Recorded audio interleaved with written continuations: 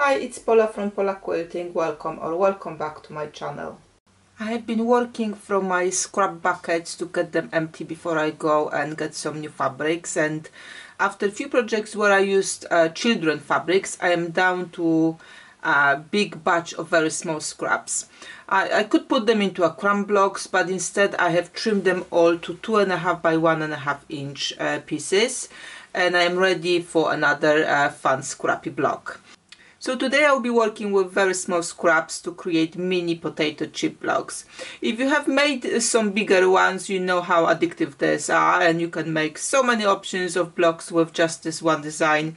Uh, and I covered one standard size um, from this tutorial with snowballs and a large one with curves. So, uh, so now time for a tiny one with those uh, scraps from the remaining projects. Because I'm using small scraps, I will focus on organizing this work to make this as a part of my leaders and enders sewing. Um, leaders and enders is something you you you sew kind of in between other projects. So before you you sew a block for another project, you want to start from sewing something else because that prevents your uh, thread to sink into the machine and also kind of divides your work if necessary. So uh, that way you're creating another project, another quilt, another something uh, without even thinking about it. so that's a great uh, uh, process. However, you can also use a jelly roll for this project as a project on its own. So let me cover the jelly roll uh, side of it first and then we'll go uh, with how to organize the work with those small, small scraps. So when you take your jelly roll, I've got my strips here cut from, you know, scraps, but obviously uh, in the jelly roll you have a 40 or 42 uh, strips of 40 inches or, or so length. So what you want to take, you want to take your jelly roll and cut one and a half inch strips from it. For one block you will need four pieces so I don't know how many blocks you want to make so make your own calculation and cut that many uh, those small rectangles. So again four small rectangles um, for each of the blocks. Then with the remaining strips I suggest because you will have probably about I don't know maybe 34 inches left by then or, or so. Cut them into two or three lengths because you want to mix them up to make a nice colorful scrappy quilt. You don't want to sew too many things uh, in the same combination. So when you have your, uh, your strips ready uh, what you want to do is sew them into the strip sets. So you will sew strip sets of two and strip sets of three so obviously I don't know how many you need to sew because I don't know how many blocks you will be making, but there's a ratio here you can go with. So for every four strip sets of two you sew together, you want to sew two of the strip sets of three uh, strips. So when you finish sewing and you again slice them into one and a half inch uh, kind of uh, sections, what you will have is four of those doubles. And you will have two of the triple. So this is what you will have. Two two triples and four doubles. Now those first four you cut for for each of the block four single pieces you want to now sew them together this way on the longer uh, side of it. And then you will sew one to the top when it's done and one to the bottom. And then you have all the rest here uh, to put this block together. So when you have that chunk here done you just add your sides. So first double at the, uh, the sides another double will go top bottom. And then you will have your triples on the sides and that will give you our uh, final block which I will show you in a minute so you can do it very quickly with a jelly roll or you can do it very quickly with the jelly roll you cut yourself from your own scraps. If you have a longer pieces of fabric you can cut into the two and a half inch strips. Now like I've mentioned I've got lots of uh, smaller scraps so I wasn't able to cut everything to two and a half inch. Most of it I was able to cut to like one and a half uh, inch wide and then I, I kind of cut them into uh, two and a half inch lengths. So how I prepared myself for the leader, leaders and ender project so kind of do not get too much confused uh, of how many uh, I want to make. However, if you just want to go sewing, take a bunch and sew it together. but let's just kind of break it down into the phases. So phase one, uh, number of blocks times two. This is how many pieces you want to pick up from your bucket. And you want to sew them by that edge. And that will give you the uh, beginning of your block. So this is how it will look. That's our beginning. So again, number of blocks times 2, take that many pieces, put it in the separate bucket, use it, use it in your leaders and enders uh, uh, project or project on your own as well, so it, it's up to you. Once you've got that, you can put it away and then we will take 8 times number of your blocks, whatever it's going to be, 8 times number of your blocks, take a bunch and sew them together, this time on the shorter edge. So, so this is how we're going to sew and this is what we're going to uh, create. So again, number of blocks times 8 pieces and then you just crack on with your leaders and enders and sew them on the short edge. Once you've done it, put them aside. So then we'll create our triple section and I kind of divide it into two uh, stages. So you will take um, number of blocks times 4 because we need 2 for each of the blocks. So number of blocks times 4 and again you will sew them uh, at the shorter edge so this is what you will have. Then you will add another bunch of the scraps and you will add the third part to the mix. So you when you adding that one you don't have to count how many you need because you will just finish off of, of your doubles. Uh, and that will give you the, all the blocks you need for that part. Once you've done that, you've got your component blocks uh, as at the beginning. You will have two of those, you will have four of those, you will have your middle sections, and then you will also have a, a pile of the singles because we still need to add the top and bottom to this before we start uh, creating a block. So now we're ready to sew it as a kind of final stage and I would say don't do it as a leader. And then there's perhaps uh, do one block at a time or batch blocks uh, at a time. It's just easier. Now I have been making mine very scrappy so um, I was just pulling from the hat and just putting them around my uh, center blocks. But if you want a little bit more design within the um, that block uh, then you probably want to lay it out first before you take it uh, to the sewing machine. The only thing I was concerning myself that I don't have the same fabric next to the same fabric. So let's lay out one and then we're taking and we'll see how quickly we can sew them together.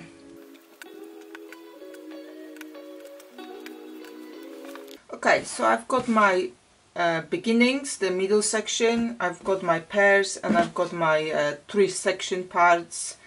Um, this one is ironed because I was cutting them from the two and a half inch strip sets. These ones are not ironed because I was just stitching two uh, smaller pieces together. If you're working from the small scraps, I wouldn't iron it until the block is ready. So it's just saving a lot of time. So because I'm working with the very scrappy block, um, I'm just gonna go with four middles here and I will just pick random stuff to kind of sew onto it. If you want to go with the specific look, potato chip blocks can have very uh, many different options. So if you're looking for specific uh, a layout then you probably want to put your block one at a time first before you sew it together. But with these scrappy ones it's very quick very easy and you just don't have to think a lot about what you're putting next to each other. I'm using kids fabric here on this occasion but it could be anything really. So I will work with four blocks at the time to so first I want to take my middle section just open it up finger press pick something from my singles bucket and uh, stitch to the side. And I will just repeat that process for the first four middle sections. So you would obviously do it for uh, in one go for how many blocks you need to finish your project. Uh, and I would normally too but just to make sure I can that make that video not that long I'll just work with four blocks at a time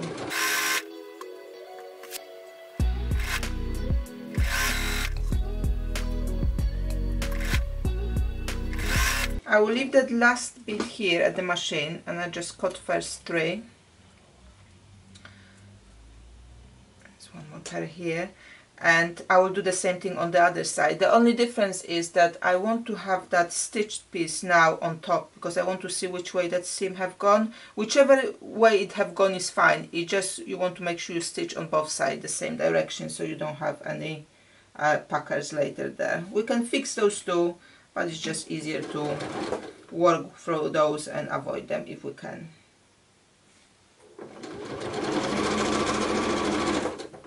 Now I can take back that last one I've left there at the machine and I can carry on uh, chain piecing so just the only thing I'm uh, kind of concerning myself about with kind of choices of color is that it's not the same fabric sticking to, to the same fabric uh, with that scrappy one. However, if I was doing some um, kind of more modern option and maybe use just I don't know five or six fabrics I wouldn't mind if they um, touch each other because when you put them all together later it will look like you worked really hard to achieve that effect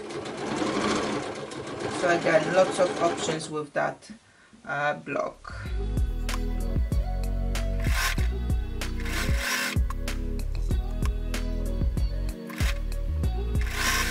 this last piece I've put other way around so I did check which way the seam is going to make sure I'm stitching it correctly.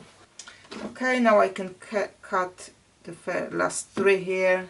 I will still keep that one in. It just saves the um, thread and kind of energy if you uh, chain piece everything. So again just open it up fingers pressed and now I'm ready to add my pairs so here we go let's go with this one so with the first stitching here on the side, I don't mind which way the seams are going, but we will repeat the process on the other side, that once I want to add that side to here, I want to have this way up, because then I will need to know which way I've sewn those um, seams. Which way they will go, it really doesn't matter. Whatever fabric tells you, just go with it.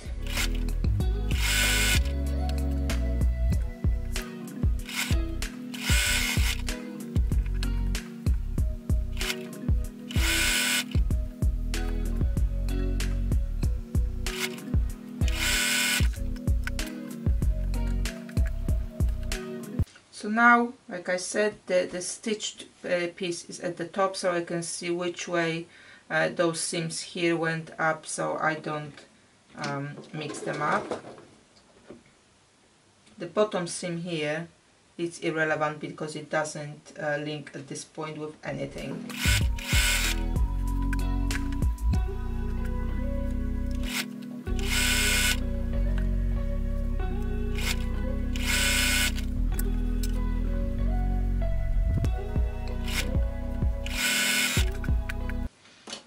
the middle stuff done now it's now a square.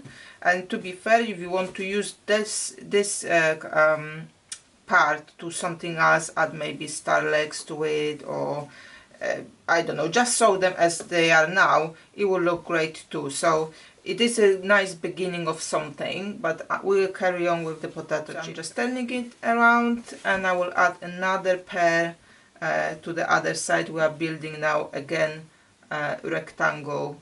Um, and the same uh, kind of uh, rule applies that I want to sew this one anyhow I want. Nothing is kind of linking with anything yet. But when I sew the other side you want to have this side up. So you can see which way you've sewn those seams here. So you can do it the same direction on the other side.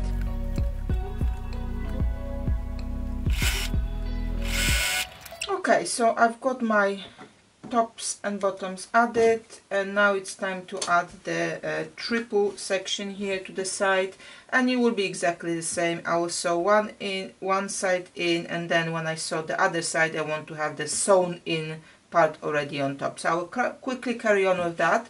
Right so I finished sewing my blocks and this is how they look. Uh, because I use small prints on most of them and they are kids type uh, as I've mentioned before.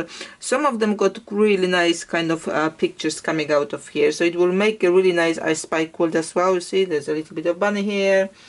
There's a bear here.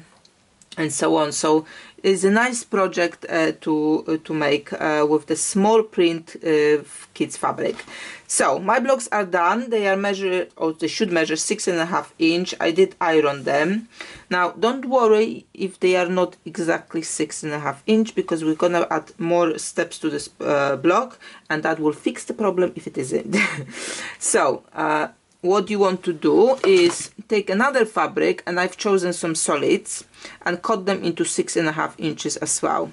And what we will do next is my easy square in a square method. So what I want to do is take my uh, block and sew all around it with the quarter inch allowance.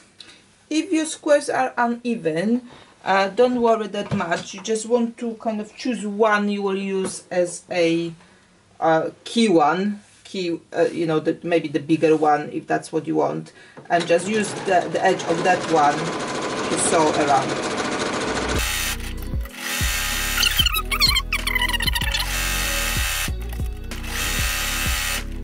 Okay, I've sewn the quarter inch uh, all around and now I'm ready to uh, draw a line in my block I'm just going uh, go diagonal from uh, seam to seam, not from the block itself because sometimes the sewing may not be exact, but I'm going from corner to corner on the seam and I will draw a line both direction. You can use a pen, you can use pencil here, uh, just something what will not kind of bleed to the layer below but make a mark on the fabric. I'm just using pencil here because we will now cut on that line so there is no problem here you go. So you want to lift the top layer and fold it where where you have one of those lines so you can snip in the middle into that cross. And then you want to go and cut on the line you've made. And just go to the very end here and make sure that your corners are cut very well because we will be opening it up and we don't want to have any puckers there okay I've cut it. So I will take it now to the iron because obviously if I want to now trim it I need to make sure it's just nice and flat. So let me quickly iron it. So here's my block and I want to square it up. Now I am going to square it up to 8 inches. You may go a little bit uh, bigger if you want to kind of save all the scrap of the fabric here but I'm not going to be um, uh, worry about myself that much about it. So 8 inches. So what I want to do is uh, I'm looking for my 8 inches here and I want to kind of center more or less uh, that point and then I will do the same thing. Once I've centered one side I will center the other side. Again more or less it's not a precision work here. You just want to have a square block which is 8 inches um, in the size so my ruler is 8 inch eight and a half not 8 so obviously I need to now move down. So now I can align my 8 inches line with the edges of the block I've trimmed on one side and trim the other side.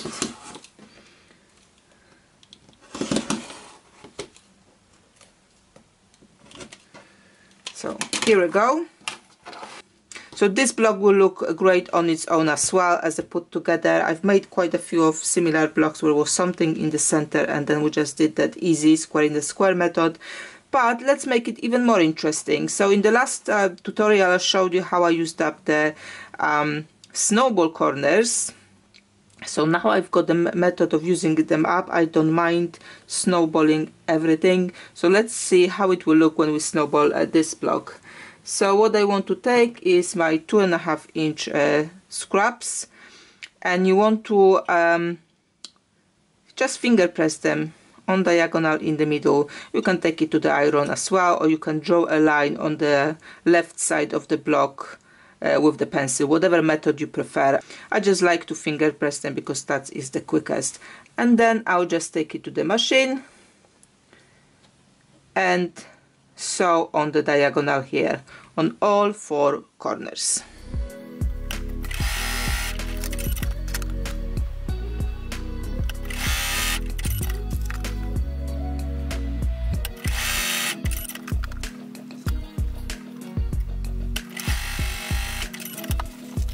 finishing of my snowballs I'll just cut more or less quarter inch away you can use scissors you can use um, rotary cutter depends what you've got handy.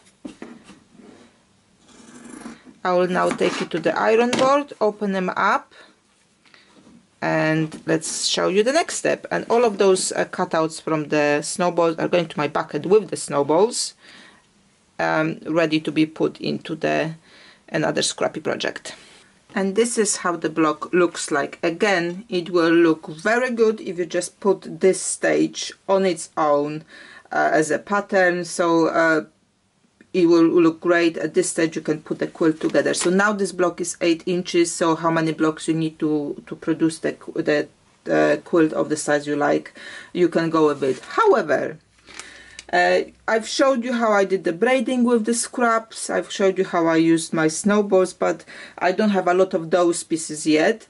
Now, what I was also doing, I was putting my uh, solid scraps on paper as well, as you can see, and I've got a lot of those rolls. So what I will do, I will actually add that at the bottom of the block to make it rectangular, and then I will pop them on the design board and show you how they look together.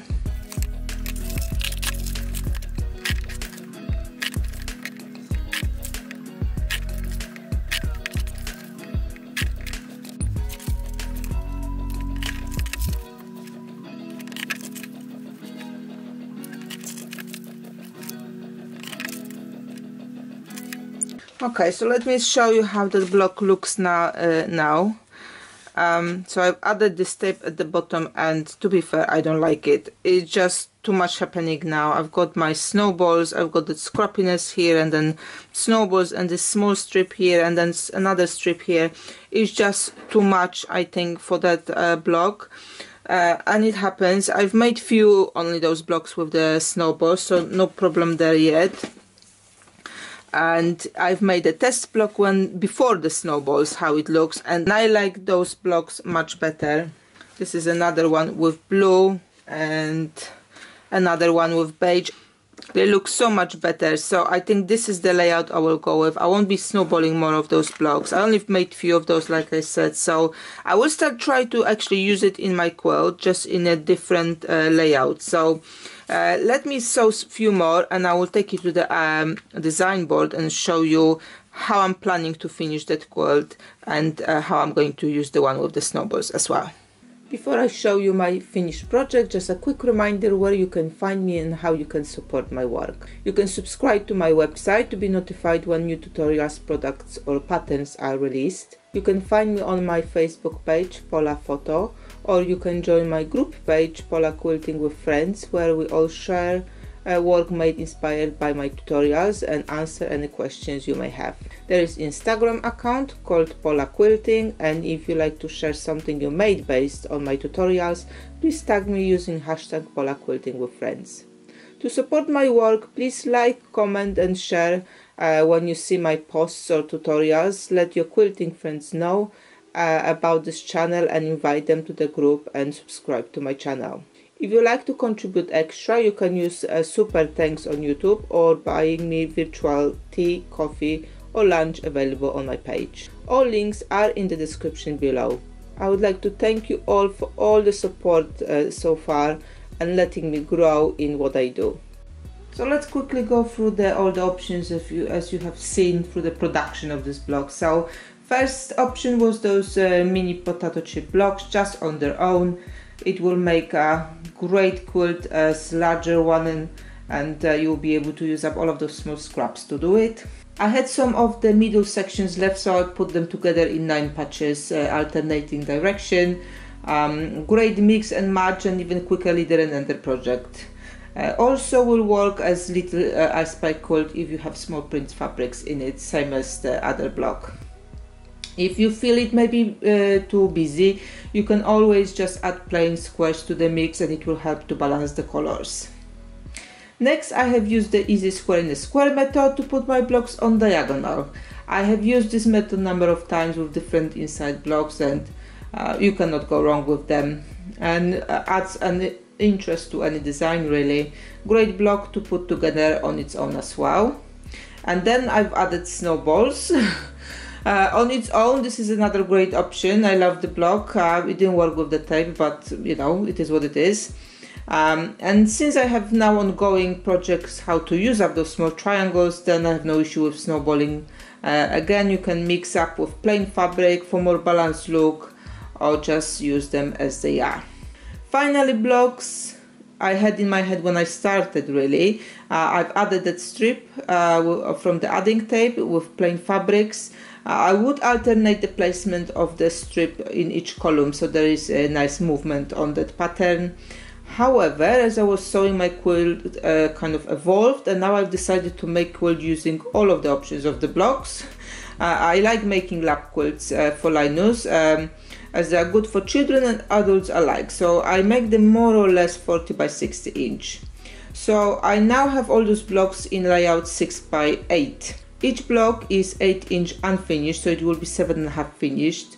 Um, so the width will be 45 inch eight blocks down with two blocks with that extra tape um, that will make about 65 inches so just about what I like in that size uh, in this layout is just um, to remember to have the same number of blocks with strip in each column and it will all uh, marry up and will be even at the end and you know there will be not many uh, seams that you actually need to uh, match up as you're sewing uh, columns together so here's my final layout, not yet sewn, but you have an idea how it can look. Um, let me know what you think in the comments about this project, uh, how that block progressed and which one you like the best. Be sure to subscribe to see how it actually finished, how I quilted it, uh, because I will share it in some point in one of the coming videos. And any questions, just please ask. Happy sewing! Thank you for joining, thank you for watching and see you next time.